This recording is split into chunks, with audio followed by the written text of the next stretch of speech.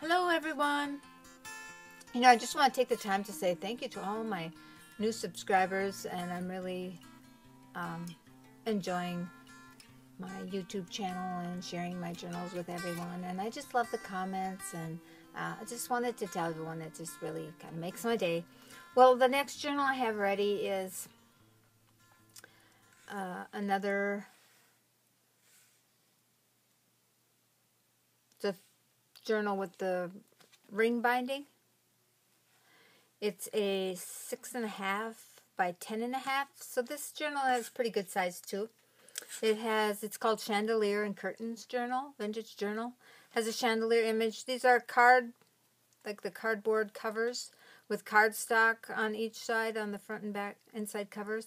And this is kind of a curtain that just um, is like pulled back. It's to lace on the top. It's a little tied there. So it's pretty secure. So we'll look inside. The inside pocket has kind of like a little accordion pocket. Uh, so you can put quite a bit in there. It has a little fabric backing to the image, a little lace on the bottom. Uh, inside there's a couple of, this is a large journal tag. And this is another, just a little journal spot. Slips in there. Little fabric and image on the top. Little lace on the pocket. Like I said, it has the three rings. And all the pages have reinforcers on the holes. Some match the coordinate with the paper on the pages with the designer paper. And this is put together like an altered book as well. Uh, what kind of happened was when I made the black and white journal, started getting really, really fat where it was hard to close it, so I had to remove some of the pages. And then I had to remove some more pages, and I had to remove some more pages. So I thought, well, I'm probably just going to make another journal out of those. So this journal is real similar to the black and white journal. Although this journal, I did grunge up the pages, so the pages have inking on them. So it's the altered book style again. There's a little tag tucked in here with some fibers on. The tags are paper clipped together. Although in this journal, when I have the writing pages underneath each of the images is another little um, kind of copy dyed torn page, torn edge page that slips underneath the image. So it has some lace sewn on, stamped a little bird and a little wreath on there. so cute. And it just has some journaling spots. I, I ordered those stamps I think Angie Brunner had those in some of hers, so I, of course, had to order those. I really like those too. So that goes into this pocket here. I just love the way the torn edge of the paper turned out. Or stick out like that. Then there's a complete journal page. And this has uh, an image. Got a little tag paper clipped on with a bird, a little tuck spot. Stamping stamp swirl on the back. Again, this has just some fibers on the paper clip. Designed for writing again. Sometimes it's really tough to leave pages blank, but I I was determined that I was going to try to do, not overdo it. There's a tag and these tiered pockets on this page. And there, what I did was if I used this paper for a folded page inside the page pocket. Then I used this paper for the uh, tucked in journal writing spot in the pockets. Plus I wanted to tear some pockets so when I cut this off then it created a I like, oh great, now I cut that piece of paper. So I took this paper and made a pocket, edged lace on there, so it kind of adds a cute little look to the page. Little tuck spot under here. Then there's a pocket inside for, for an image. And still have a lot of journaling space in there too. So that's how these turned out in this book. This is the journal page with some lace, some embroidered flowers, and some stringy prettiness. And then you have your journal page. These pages aren't quite as large as the others because the pages had to be kind of cut to go into this book. So, And I think this flips up. You can write behind the decorated flap.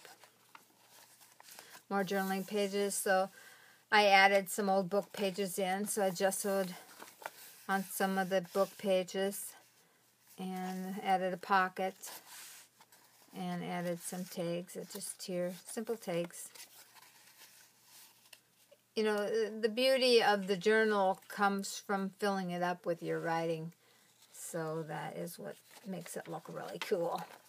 So here we have another page similar to tearing pockets, the images, again, lace, and then there's a tag inside this pocket with some fibers on it.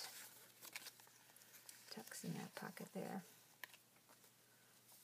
You know, in these journals, they may not look like, they're just are really time consuming to put together and the inking and the uh, cutting and the it's just uh, it always amazes me. I think, well, I'm just going to kind of make it just a simple journal, but they always turn out to be uh, almost just a week or more in the making when you get them finished. This one has another little tuck spot under the photo with some lace on the edge and some stamping on the back, stamping on the front. So I'll try to make my journals uh, pretty useful. And then there's a tuck spot in here with a tag. Goes in there. And this has a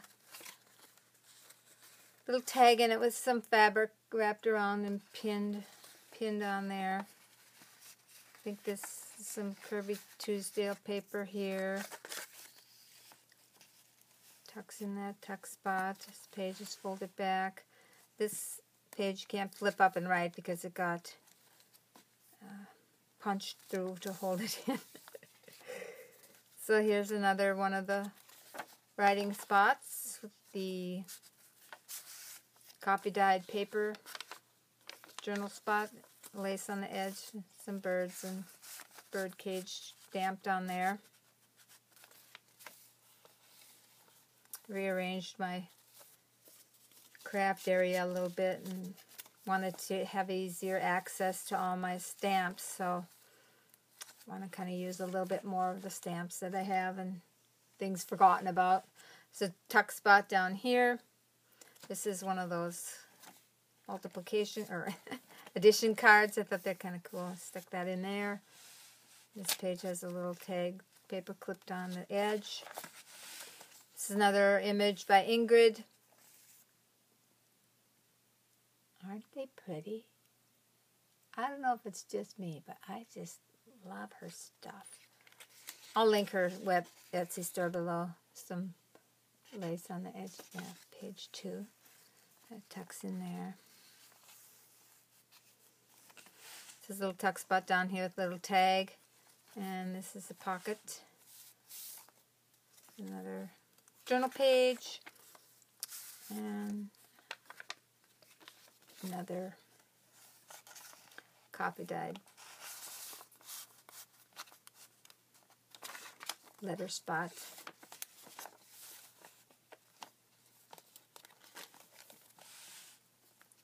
More blank journal pages. This is another book page that came out of a book that I had altered and just so the page for writing.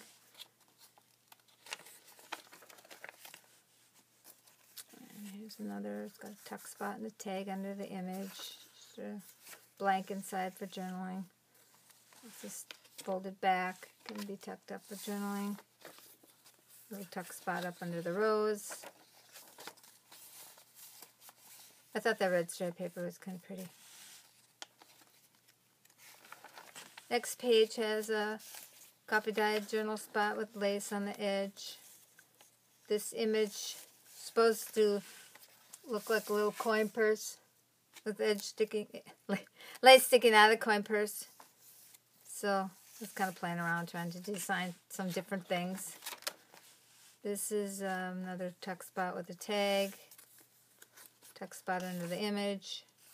spot for writing.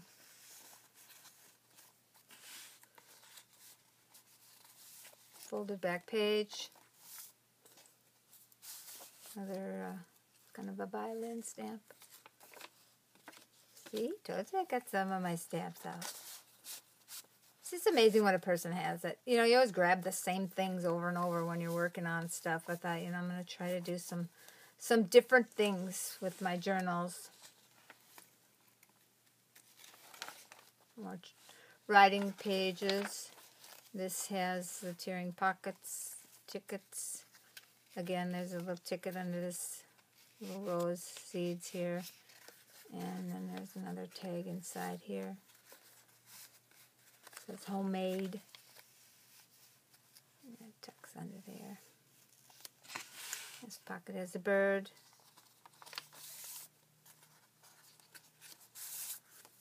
Another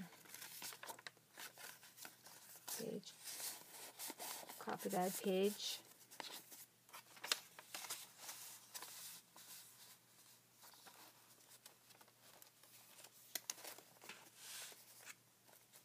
This is a envelope. Has some. It's lined with some paper. Corner tuck. ticket in there. And this little. It's like um, that paper that's homemade paper. Feels like that. It's real texture on the outside, but yet inside it's it's flat or smooth for writing. Little Martha Stewart butterfly on there. Tucked in there. And this image. Some of these images I have in groups of four on my Etsy store. So if you like the images, you can check that out. And some journaling spot on the back of the envelope. It's a little teeny tiny pocket down here with a little teeny tiny tag. Oh, sometimes you just have too much time. And then on this page is a altered paper clip. Kind of looks like that. Kirby Truesdale paper in there. I like the bicycle. I thought I'm using that in this journal someplace because I just love that. Love that image with the bicycle. It's a tuck spot. This is a flip up pocket. Inside then again we have another journal page with the stamp. I stamped a couple butterflies. This one got kind of funny, so I put some flowers over it. Then I stamped some ladies. It just has a collage of stamping.